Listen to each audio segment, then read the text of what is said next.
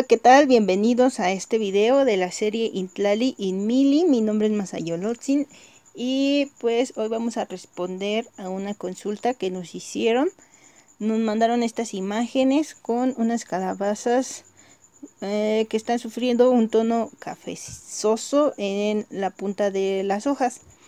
Esto se debe a una falta de potasio en la tierra y pues esto se lo podemos agregar por medio de biopreparados.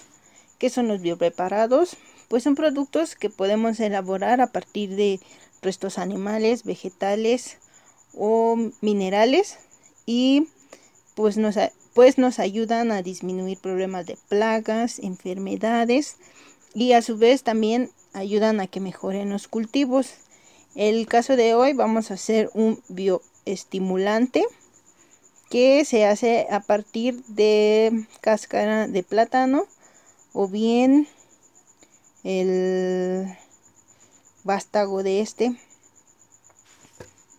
Se requiere un recipiente metálico para calentar el agua y agua potable. Vamos a poner a hervir el agua.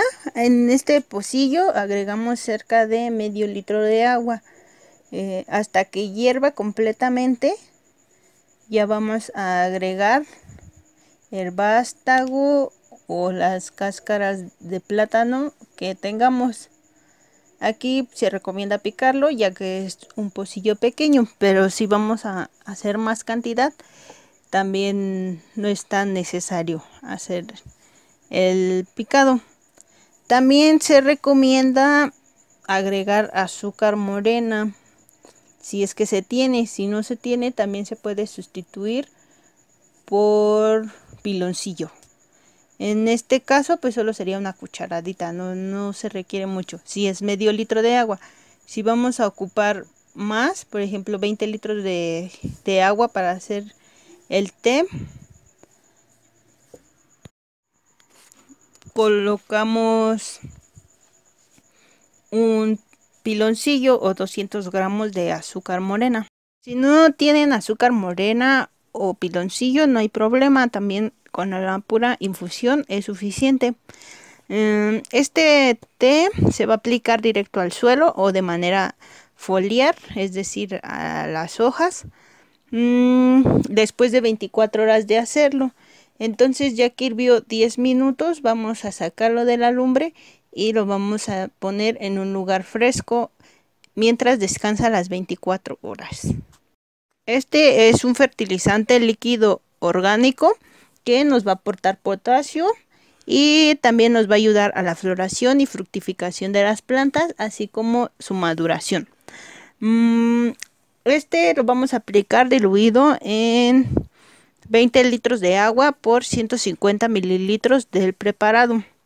Ya que descansó las 24 horas, vamos a colarlo y lo vamos a guardar en un frasco de vidrio. Es lo más recomendable, ya que la duración de este es solo de 15 días, mientras se mantenga bien cerrado y fresco. También hay que recordar que para aplicarlo hay que hacerlo en horas frescas, ya sea al atardecer o en la mañana. Esto es todo por hoy. Muchas gracias por su atención y no, no duden en enviarnos sus dudas, sugerencias y síganos por nuestras redes sociales. Gracias y saludos.